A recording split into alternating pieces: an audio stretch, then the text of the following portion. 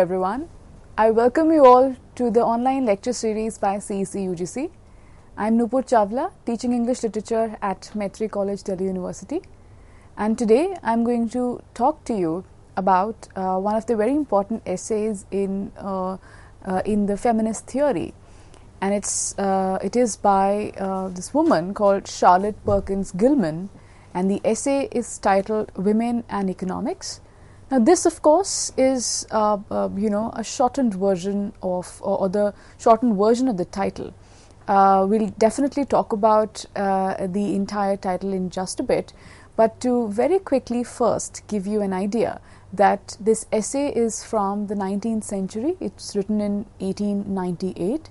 So, uh, what we are then going to discuss today are the arguments of feminism uh, that were prevalent in the 19th century. So, as we all are aware, that how feminism also, you know, kind of um, had different phases, and each uh, uh, century, so to say, then, uh, you know, witnessed uh, some development in the stance of feminism as well, right? So, how the women's question uh, you know kind of uh, underwent a change. There were new issues that were added. There was new approaches that were added. So all of that we witness um, as we read the texts by uh, various uh, you know uh, women feminists if you can call it that or all those women that were engaging with the um, issue right? So in uh, discussion today then um, are these uh, uh, you know arguments in the 19th century that were put forth by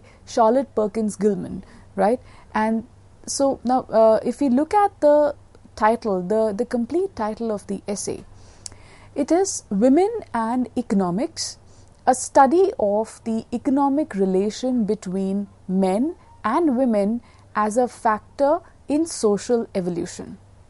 So, you see, the title itself is uh, quite long and uh, you know gives us a lot of insight into what possibly could be Gilman's uh, uh you know contention over here right? So we see that uh, so the first two terms are very important uh, women and economics. So the foremost thing that we establish is that in the essay um, you know Gilman is going to talk about the intersection of the issue of gender and economics right? So as we understand that uh, you know gender can be approached from various perspectives gender as a category has uh, you know kind of a different uh, dimensions to it. It can be approached um, from the point of view of uh, society uh, which is the social dimension. It can be approached from the point of view of law, which is the legal dimension. It can be uh, also approached from the point of view of um, economics, right? So, um, in what, uh, from what lens or from what angle are we? Uh, you know, kind of uh, examining the question of women or, or, or examining the question of um, gender, then is uh, something that we need to be aware of whenever we uh, you know enter into such a theoretical discussion right? So then gilman here we see is talking about the coming together of the uh, of, of the women question uh, and economics right? Now the second part of the title says that it's a study of the economic relation between men and women as a factor in social evolution now again two phrases catch our attention here in the title in the in the second half of the title. First is the economic relation between men and women right? And the second phrase that catches our, our, our attention is social evolution okay? So now you might wonder that what do we mean by the economic relation between men and women right? So we do often talk about the uh, relation, the interaction, the terms of interaction between men and women. But when she is talking about the economic relation, what exactly is she trying to say? That is something that's uh, going to be the crux of our discussion today, right? And then the second phrase that I've highlighted from the second part of the title is social evolution. So you see, uh, this also kind of gives us an idea uh, about what is the uh, driving force of Gilman's engagement with uh, this question of women and economics, right? The ultimate, um, uh, you know, parameter that's in her mind is social evolution. Okay, so uh, and you might wonder that what do we mean by social evolution, right? So evolution, if you look at the word, it means what? Changing for the better, right? So when she is talking about social evolution, she is trying to talk about how this uh, economic relation between men and women can be understood to further explain the idea of social evolution or how this interaction between men and women on economic grounds then becomes one of the features for us to think about uh, you know some kind of a social change right? So that's uh, so to say uh, you know the complete title. And we see that how just the title itself advances so many ideas okay? Now before i go on and uh, uh you know kind of uh, discuss about the arguments which the um, uh, which the writer makes over here i wish to point out that in today's lecture we are going to talk about the first part of the essay all right? Uh, because it's a very long essay it's about uh, close to 90 pages so it's uh, uh you know uh, to be able to do justice to it. So we're going to focus on one part and we're going to look at the arguments that she makes in the first part. Now let us see what are the contentions uh, that gilman makes. First she looks at the um, the prevalent notion during her times, that is, the 19th century, the notion of economic progress, which was viewed always as masculine. Okay, so um, Gilman here engages with this idea of how, in her time, uh, you know, any idea of economic progress would automatically be um, uh, discussed in masculine terms, right? Which means what? That men would be the center of discussion, men would be at the center of any kind of a economic growth. So this is the first point that she seems to take up for discussion. The second contention that she uh, takes up in the essay, that is of uh, where she talks about the economic value of domestic industry. Now you might just wonder what do we mean by domestic industry? And what do we mean by economic value of domestic industry? So these are actually some words that you you know find uh, gilman using in um, in her essay. But that then forms a second important contention that she makes. So now what this exactly means we're going to elaborate upon that in the course of the lecture. And the third thing and the third contention uh, that we're going to discuss today from the essay is where she talks about the claim of motherhood as a factor in economic exchange. Now, you might also, you know, be feeling a little startled because you see, um, have we ever thought about motherhood in terms of economics? Maybe not, maybe or maybe not, right? So, and particularly in terms of some kind of an exchange, right? So, now these are some of the um, very interesting uh, ideas that Gilman puts forth um, in the essay, and we're going to uh, take them up for discussion one by one. So, beginning with the first one, where she talks about economic progress as always considered to be as masculine. Okay, now she actually over here mentions about a trend of her times, right, where uh, the the uh, the prevalent or the major belief would be that man is at the center of any kind of a economic growth right?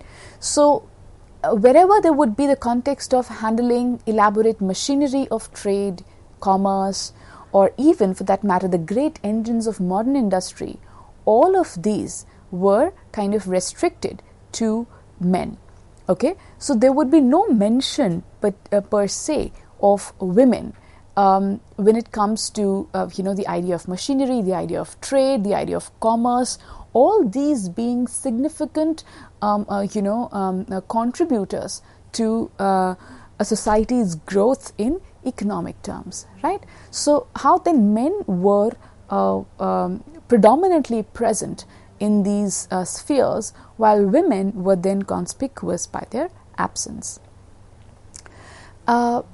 Now, from here, she goes on to say that this view or this prevalent view during the 19th century uh, of uh, the fact that our progress is masculine is not because of any disability of women, right? But it actually points towards the particular condition which forbids uh, the development of this degree of ability within women right? So she very clearly states that it is not because women are uh, you know kind of that, that that they fall short anywhere. Instead the fact of the matter remains that the society itself forbids the development of any kind of a degree of ability uh, uh, you know um, uh, amongst women. And therefore what happens? That the matters of money the matters of wealth the matters of uh, uh, for that matter even big wealth remain restricted to men and let's not forget that this is the uh, um, this is the trend that she is talking about which was prevalent in the 19th century at the time when she is writing this essay all right. Now, further elaborating upon this, uh, you know, she gives the example of how women were further excluded from uh, from this idea of wealth and economics. So it is not to say that women were not working, right? It is not to say that women were not contributing, but the issue was that the fruits of their labor actually belonged to somebody uh, to uh, someone else right? So now uh, she uh, she gives this example where she says that the, that the peasant women their labor is the property of another. And i'm quoting this from the essay. So she says that peasant women their labor is property of another what they receive is not dependent upon their labor but on the power and will of another they are economically dependent. Unquote. So, what do we see? While on the one hand, uh, it's the men who are considered to be as producers of wealth, right? On the other hand, women in the 19th century were uh, primarily economically dependent. And she gives a very, um, you know, a very sound logic to this that what does economic dependence mean, uh, you know, um, in the 19th century? So she gives the example of the peasant women. So she says that how the labor or the work which was done by women actually, uh, uh, you know, kind of uh, did not uh, get them the reward that was due to them. Okay, and any reward that they would get, if at all, was uh, you know, on the basis of the will of another individual, right? So, which means what? That women then were not like the, the the conditions were such that they were not able to generate money, um, uh, you know, on their own because their labor, as she says, was the property of another, right? So then they were always at the mercy of uh, another um, individual to uh, you know either recognize or not recognize the value of their labor. So if that labor went unrecognized, then of course uh, they would not be paid, and that's how you know because their uh, b- because their labor uh, was a property of another. That is why she says that you know women were economically dependent in that sense. And on the other hand, if we look at men, men were part of these uh, you know industries. Uh, they were they were part of trade and commerce where their labor was not to that extent dependent upon um, you know uh, uh, uh upon the will or the power of another. And also uh, friends let that that let's just keep in mind that these are relative categories okay so when we say that that that that men's labor was not property of another. We are talking in relative terms as compared to women. So if women's labor was um, more, uh, uh, you know, kind of to a to a large extent, um, uh, you know, uh, uh dependent upon uh, the power and will of another. When we talk about men, uh, uh, in comparison, it was not the case. So that is why you know Gilman establishes that how compared to men, women were economically dependent in the 19th century, right? And again, it's not that they didn't have it in them to um, kind of prove themselves or to work, but instead it was just the matter of times, it was just the way society had been conditioned. Okay, now another point that we need to keep in mind when we are discussing this first contention is that uh, Gilman, uh, you know, uh, mentions in her essay, and I will quote, she says that all social life is economically interdependent. Individual economic independence means individual pays for what he gets, works for what he gets, gives to the other an equivalent for what the other gives him. Unquote. So now over here, she is further, you know, kind of seeing, uh, uh, explaining what do we mean by, uh, you know, or uh, she's she's explaining the way, um, uh, you know, economic uh, factors operate, right? So economics and and how it operates in society. So she says that the foremost thing is that in a society, each one is economically interdependent, which means what? That individual, uh, um, uh, uh, you know, each individual is kind of, um, uh, you know, in a kind of an equation with another, where one person uh, uh, you know, uh, like you know, even she says that whether the the individual economic independence in this kind of a framework would mean that the individual pays for what he gets, right? So if you are getting some work done by someone, then you pay that person for the work that you're done, uh, that you're getting done. Then she says that works for what, uh, uh, for what she gets. Now again, it means what that whatever that you get, you have to work for it so whatever if somebody is giving you right so like they say that that there's that that nothing comes for free. So whatever that you're getting from another person you are working for it. Okay? So at one level you are paying an individual for what they do for you. At another level you get uh, something uh, uh, you know uh, by another individual uh, uh, only by means of working for them.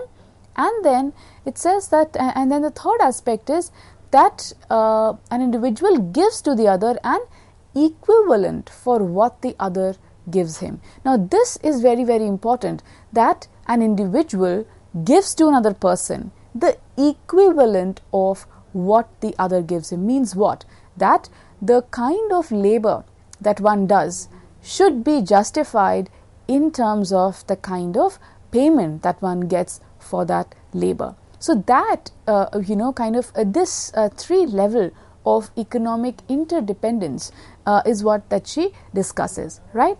And now this needs to be put in context with just the preceding example that we talked about, that was of the peasant women, where the labor of the peasant woman then doesn't belong to her it is the property of another which means what that a lot of times uh, you know the pay that she would get for her labor would be completely dependent upon the whims and fancies of the person that she is working for. So there was no aspect of equivalence that gilman has just now talked about right? So hence uh, you know uh, further highlighting that where exactly was the problem um, uh, you know, uh, because you see, it's uh, in in most uh, discourses you would have seen that oh, women are, have been economically deprived or they have not been given as much opportunities. So what Gilman actually does in this essay is that she gets into the structural discussion of how economics works, of how uh, you know the idea of labor and a payment for that labor works, and within that framework, then where do women figure or what makes us say that women are economically dependent right so these are uh, the points that she uh, discusses when she uh, talks about um, masculinity when she talks about economic progress and she talks about the economic dependence of women right so these are some of the ideas that were uh, kind of important in the 19th century. Now, the second contention that she uh, um, brings forth in the essay is that of economic value of domestic industry. Now, before we go into the details of this contention, I want to first ask you a question that uh, you know it is uh, it is all the time uh, kind of uh, uh, discussed that women do work at home, housewives they do uh, they they labor in the kitchen. They take care of the house throughout the day. Um, are they paid for that? That that that that also is a labor right? But are they i mean is there any kind of a payment that they get uh, for that kind of work that they do? And the this entire idea of working women you see who go out of the work who who, who go out of the house to uh, work, maybe they do these jobs at various places. Um, they definitely get, uh, uh, you know, kind of uh, um, whatever money that they uh, that they kind of uh, command. But now I'm kind of drawing your attention to the fact that we need to understand that what exactly does it mean to be a working woman and what is the place of a woman in a domestic setup so, if this woman is not going out of the house to work, does her labor within the house not command any kind of a economic value or not? Right? So, this is actually the introductory thought which would take us into this uh, uh, into the heart of the second um, uh, you know um, uh, co- contention by Gilman where she talks about the economic value of domestic industry, right? Now, I want to talk about the term uh, uh, domestic industry. Industry itself means what? It's a it's a place of production, right? Where something is being produced by means of some kind of a labor that's being done. So, domestic industry then means that Gilman is looking at the household, is looking at the domestic sphere in terms of uh, uh, you know uh, the the place where a woman is seen to be working right? So usually domesticity is you know kind of um, approached from the point of view of say domestic relations uh, relation between different uh, people in the family the kind of dynamics that exist between them right? So uh, and also uh, what is the position of different individuals in that setup? So usually whenever we talk about domestic or, or domesticity these are some of the uh, concerns that come to mind. But here gilman uh, you see because her uh, um, uh, point of entry is economics. So she is looking at this domain of the domestic from the economic perspective. And that's why she uses the term domestic industry right? So we are going to further uh, uh, discuss uh, the the relevance and the significance of this contention by uh, Gilman in the next part of the lecture. But right now we have seen the two important um, ideas. First she uh, uh, it's a uh, you know the essay women and economics is a 19th century essay that was uh, you know written by gilman in 1898 uh, then we see that uh, you know how the title of the essay also is uh, you know very very um, telling in the sense of uh, what its central concerns are. Then we also see that how uh, you know the her her first contention remains to be that how in the 19th century at the time when she is writing economic progress is you know was seen to be as masculine. And over there while discussing this point she discusses how men then are seen to be at the heart of um, uh, you know the creation of wealth and how women then are uh, you know essentially economically independent uh, in the 19th century context and after that she goes into the discussion of this entire framework of what it means to be uh, you know economically independent and what it means to be economically interdependent in society right? So that was the first contention. And then uh, in this lecture, we, we introduced the second contention that is the economic value of domestic industry, that she uh, that's the next thing that she talks about in her essay but we're going to elaborate upon that um, in the second segment. Thank you